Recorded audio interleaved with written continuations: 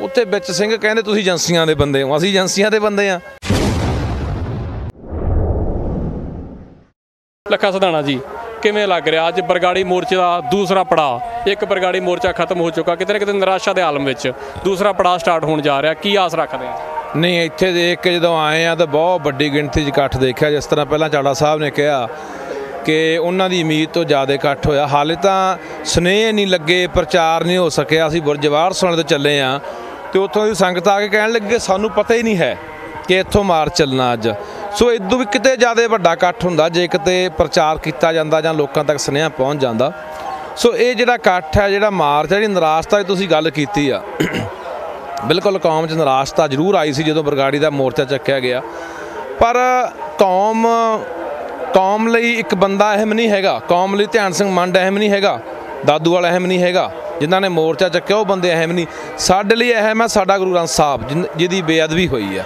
ਸਾਡੇ ਲਈ ਅਹਿਮ ਨੇ ਉਹ ਨੌਜਵਾਨ ਜਿਹੜੇ ਸ਼ਹੀਦ ਹੋਏ ਨੇ, ਚਾਹੇ ਉਹ ਬਹਿਬਲ ਕਾਂਡ ਦੇ ਵਿੱਚ ਹੋਏ ਨੇ, ਚਾਹੇ ਨਕੋਦਰ ਕਾਂਡ ਦੇ ਵਿੱਚ ਹੋਏ ਨੇ, ਚਾਹੇ ਮੌੜ ਬੰਬ ਬਲਾਸਟ ਦੇ ਵਿੱਚ ਜਿਹੜਾ ਇਹਨਾਂ ਨੇ ਕਰਾਇਆ, ਏਜੰਸੀਆਂ ਨੇ ਕਰਾਇਆ, ਜਾਂ ਜਿਹੜਾ ਪ੍ਰੇਮੀਆਂ ਦੁਆਰਾ ਰਚਿਆ ਗਿਆ ਸਾਰਾ ਡੰਬਰ ਉਹ ਸਾਡੇ ਲਈ ਅਹਿਮ ਨੇ ਕਿ ਉਹ ਇਨਸਾਫ ਮਿਲਣਾ ਚਾਹੀਦਾ, ਉਹ ਗੱਲਾਂ ਸਾਹਮਣੇ ਆਉਣੀਆਂ ਚਾਹੀਦੀਆਂ ਨੇ, ਉਹ ਬੰਦੇ ਨੇ ਜਿਹੜੇ ਉਹ ਸਲਾਖਾਂ ਦੇ ਪਿੱਛੇ ਹੋਣੇ ਚਾਹੀਦੇ ਨੇ। ਇਸ ਲਈ ਕੌਮ ਹੈ ਜਿਹੜੀ ਮੁੜ ਇਕੱਤਰ ਹੋ ਰਹੀ ਆ।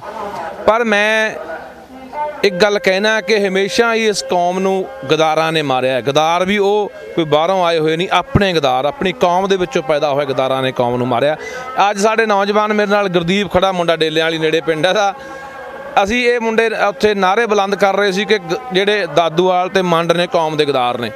ਉੱਥੇ ਵਿੱਚ ਸਿੰਘ ਕਹਿੰਦੇ, ਤੁਸੀਂ ਏਜੰਸੀਆਂ ਦੇ ਬੰਦੇ ਹੋ, ਅਸੀਂ ਏਜੰਸੀਆਂ ਦੇ ਬੰਦੇ ਆ ਤਾਂ ਫਿਰ ਠੀਕ ਹੈ, ਇਸ ਇਹਨਾਂ ਨੂੰ ਇਹ ਲੱਗਦਾ ਕਿ ਨੌਜਵਾਨ ਏਜੰਸੀਆਂ ਦੇ ਬੰਦੇ ਨੇ, ਤਾਂ ਯਾਰ ਇਦੋਂ ਘਟੀਆ ਗੱਲ ਨਹੀਂ ਹੋ ਸਕਦੀ। ਅਸੀਂ ਕਹਿੰਦੇ ਆ ਅਸੀਂ ਇਕੱਲੇ ਨਹੀਂ, ਪੂਰੀ ਕੌਮ, ਪੂਰੀ ਸਿੱਖ ਸੰਗਤ ਅੱਜ ਮੰਡ ਤੋਂ ਜਵਾਬ ਮੰਗ ਰਹੀ ਹੈ ਕਿ ਸਪਸ਼ਟੀਕਰਨ ਦਿੱਤਾ ਜਾਵੇ, ਮੋਰਚਾ ਕਿਉਂ ਨਹੀਂ ਭਰੋਸੇ 'ਚ ਲੈ ਕੇ ਚੱਕਿਆ ਗਿਆ ਜਾਂ ਕਿੰਨਾ ਕਾਰਨਾ ਕਰਕੇ ਚੱਕਿਆ ਗਿਆ। ਇਹਨਾਂ ਗੱਲਾਂ ਨੂੰ ਰੌਲਾ ਪੈਂਦਿਆਂ ਨੂੰ ਤੁਸੀਂ ਦੇਖ ਲਓ ਕਈ ਮਹੀਨੇ ਹੋ ਗਏ ਆ 6-7 ਮਹੀਨੇ ਹੋ ਗਏ ਆ, ਪਰ ਹਾਲੇ ਤੱਕ ਮੰਡ ਨੇ ਕੋਈ ਵੀ ਸਪਸ਼ਟੀਕਰਨ ਨਹੀਂ ਦਿੱਤਾ। ਮੈਂ ਵੀ 27 ਤਰੀਕ ਨੂੰ ਬੋਲਿਆ ਸੀ ਚੰਡੀਗੜ੍ਹ। ਮੰਡ ਮੇਰੇ ਸਾਹਮਣੇ ਬੈਠਾ ਸੀਗਾ, ਮੈਂ ਮੰਡ ਸਾਹਿਬ, ਆਹ ਗੱਲਾਂ ਦੇ ਜਵਾਬ ਨੇ, ਮੈਂ ਨਹੀਂ ਮੰਗ ਰਿਹਾ, ਪੂਰੀ ਕੌਮ ਮੰਗ ਰਹੀ ਆ ਆ ਕੇ ਸਟੇਜ ਤੇ ਦਿਓ ਪ੍ਰੈਸ 'ਚ ਦਿਓ। ਕੋਈ ਤਾਂ ਕੋਈ ਲੋਕਾਂ ਨੂੰ ਪਤਾ ਲੱਗੇ ਵੀ ਕਿੰਨਾ ਕਾਰਨਾ ਕਰਕੇ ਮੋਰਚਾ ਚੱਕਿਆ ਗਿਆ। ਅੱਜ ਤੁਸੀਂ ਦੇਖ ਲਓ ਹਾਲਾਤ, ਉੱਥੇ ਹੀ ਖੜ ਗਏ ਆ ਕੇ। ਜਿੱਥੋਂ ਮੋਰਚਾ ਚੱਕਿਆ ਗਿਆ, ਸਰਕਾਰ ਨੇ ਇੱਕ ਵਾਰੀ ਲਾਰੇ ਲਾ ਕੇ ਮੋਰਚਾ ਚਕਾਤਾ। ਸੰਗਤ ਨੂੰ ਤਾਂ ਪਹਿਲਾਂ ਹੀ ਪਤਾ ਸੀ ਕਿ ਇਹ ਹੋਣਾ ਕੱਖ ਨਹੀਂ ਹੈਗਾ, ਰਲੇ ਮਿਲੇ ਨੇ। ਕਦੇ ਨਹੀਂ ਕੈਪਟਨ ਚਾਹੁੰਦਾ ਕਿ ਬਾਦਲ ਅੰਦਰ ਜਾਣ। ਆ ਜਿਹੜਾ ਹੁਣ ਤੁਸੀਂ ਦੇਖ ਲਓ ਐਸਆਈਟੀ ਦਾ ਮੁਖੀ ਜਿਹੜਾ ਚੋਣ ਕਮਿਸ਼ਨ ਤੋਂ ਇਹਨਾਂ ਨੇ ਸ਼ਿਕਾਇਤ ਕਰਕੇ ਬਦਲਾਇਆ ਉਹ ਕੈਪਟਨ ਦੀ ਵੀ ਮਿਲੀ ਭੁਗਤੋਨੀ ਹੈ। ਚਾਹੇ ਉਹ ਲੱਖ ਅੱਜ ਬਿਆਨਬਾਜ਼ੀ ਕਰਕੇ ਡਰਾਮੇਬਾਜ਼ੀ ਕਰੀ ਜਾਂਦੇ ਆ, ਪਰ ਇਹ ਨਹੀਂ ਚਾਹੁੰਦੇ ਇੱਕ ਦੂਜੇ ਨੂੰ ਵੀ ਕੋਈ ਬੰਦਾ ਇਹਨਾਂ ਦੇ ਵਿੱਚੋਂ ਅੰਦਰ ਜਾਵੇ। ਸੋ ਇਹਦੇ ਲਈ ਜਿਹੜਾ ਇਨਸਾਫ ਲੈਣਾ, ਉਹ ਕੌਮ ਨੇ ਲੈਣਾ। ਜੇ ਕੌਮ ਐ ਨਿਕਲ ਕੇ ਘਰਾਂ ਦੇ ਵਿੱਚੋਂ ਸੜਕਾਂ ਤੇ ਆਊਗੀ, ਐ ਕੌਮ ਇਕੱਠੀ ਹੋਊਗੀ ਇੱਕ ਝੰਡੇ ਦੇ ਹੇਠ, ਤਾਂ ਜ਼ਰੂਰ ਇਨਸਾਫ ਮਿਲੂਗਾ। ਇਨਸਾਫ ਦੀ ਆਸ ਤੇ ਉੱਥੇ ਬਰਗਾੜੀ ਦੇ ਵਿੱਚ ਹੀ ਵੱਧ ਚੁੱਕੀ ਸੀ, ਪਰ ਕਿਤੇ ਨਾ ਕਿਤੇ ਤੁਸੀਂ ਵੀ ਦੱਸ ਚੁੱਕੇ ਹੈਗੇ ਆ। ਫਿਰ ਇਹ ਜਵਾਨੀ ਨੂੰ ਇਕੱਠੇ ਕਰਨਾ ਬੜਾ ਮੁਸ਼ਕਲ ਆਉਣ ਵਾਲੇ ਸਮੇਂ ਦੇ ਵਿੱਚ, ਜੇ ਵਿਦੇਸ਼ਾਂ ਦੀ ਗੱਲ ਕਰਦੇ ਆ ਜਾਂ ਦੇਸ਼ ਦੇ ਕੋਨੇ-ਕੋਨੇ ਤੋਂ ਗੱਲ ਕਰਦੇ ਬਰਗਾੜੀ ਪਹੁੰਚਿਆ ਸੀ। ਭਾਈ ਨਰਾਇਣ ਸਿੰਘ ਵੀ ਚੌੜਾ ਕਹਿ ਚੁੱਕੇ ਹੈਗੇ ਕਿ ਸ਼ਾਇਦ ਸਾਨੂੰ ਵੀ ਵਿਸ਼ਵਾਸ ਬਣਾਉਣ ਦਾ ਟਾਈਮ ਲੱਗਣਾ।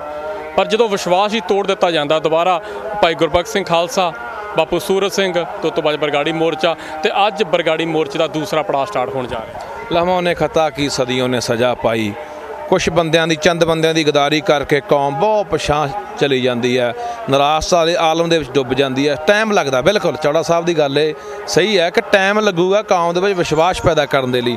ਹੁਣ ਕੌਮ ਅੱਜ ਸੋਚ ਰਹੀ ਜਿਹੜੇ ਮੇਰੇ ਨਾਲ ਖੜੇ ਅੱਜ ਮੁੰਡੇ, ਸੈਂਕੜੇ ਮੁੰਡੇ ਅੱਜ ਆਏ ਨੇ, ਨੌਜਵਾਨ ਆਏ ਆ ਇਹਨਾਂ ਦੇ ਮਨ ਦੇ ਵਿੱਚ ਵੀ ਇਹ ਸ਼ੰਕਾ ਹੈਗੀ ਵੀ ਯਾਰ, ਇਹ ਵੀ ਤਾਂ ਨਹੀਂ ਕਦੇ ਮੰਡ ਵਾਲੀ ਕਰ ਜਾਣਗੇ, ਇਹ ਵੀ ਤਾਂ ਨਹੀਂ ਉਹਨਾਂ ਵਾਲੀ ਕਰ ਜਾਣਗੇ। ਸੋ ਇਹ ਗੱਲ ਹੈਗੀ ਹੈ, ਕਿਉਂਕਿ ਇੱਕ ਵਾਰ ਨਹੀਂ ਹੋਇਆ ਕੌਮ ਦੇ ਨਾਲ। ਵਾਰ-ਵਾਰ ਕੌਮ ਦੀ ਪਿੱਠ ਦੇ ਵਿੱਚ ਛੁਰਾ ਮਾਰਿਆ ਗਿਆ, ਜਿਹਦੇ ਕਰਕੇ ਜਿਹੜੀ ਕੌਮ ਹੈ, ਉਹ ਨਿਰਾਸ਼ਤਾ 'ਚ ਗਈ ਹੈ।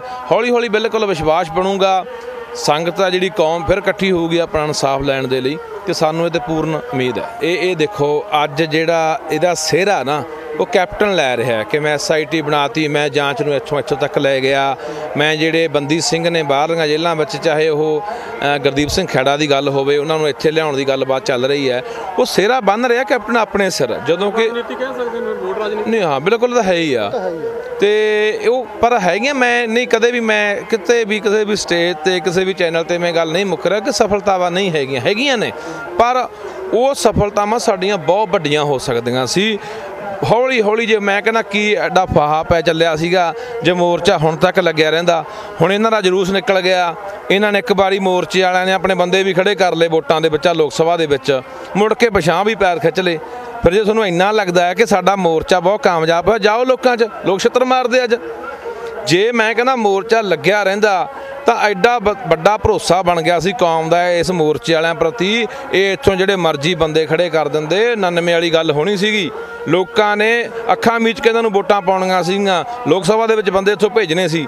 ਪਰ ਉਹ ਸਾਰਾ ਕੁਝ ਇਹਨਾਂ ਨੇ ਯਾਰ ਪਤਾ ਨਹੀਂ ਕਿਹਦੇ ਪਿੱਛੇ ਲੱਗ ਕੇ, ਕਿਹੜੇ ਲਾਲਚਾਂ ਪਿੱਛੇ, ਕਿਹੜੇ ਦਬਕੇ ਪਿੱਛੇ ਜਾਂ ਕਿੰਨਾ ਕਾਰਨਾ ਕਰਕੇ ਇਹਨਾਂ ਨੇ ਗੰਢ ਧੁੱਪ ਕਰਕੇ ਇੰਨਾ ਇਹਨਾਂ ਨੇ ਨੁਕਸਾਨ ਕਰਤਾ, ਸੋਚਿਆ ਨਹੀਂ ਜਾ ਸਕਦਾ। ਬਿਲਕੁਲ ਜੀ, ਸਰਬੱਤ ਖਾਲਸਾ ਹੁੰਦਾ, ਚੱਬੇ ਦੀ ਧਰਤੀ ਉੱਤੇ ਤੇ ਸੰਗਤਾਂ ਦਾ ਵੱਡਾ ਇਕੱਠ ਹੁੰਦਾ, ਜਿਹਦੇ ਵਿੱਚ ਜਥੇਦਾਰ ਚੁਣੇ ਜਾਂਦੇ ਆ ਭਾਈ ਜਗਤਾਰ ਸਿੰਘ ਹਵਾਰਾ ਨੂੰ।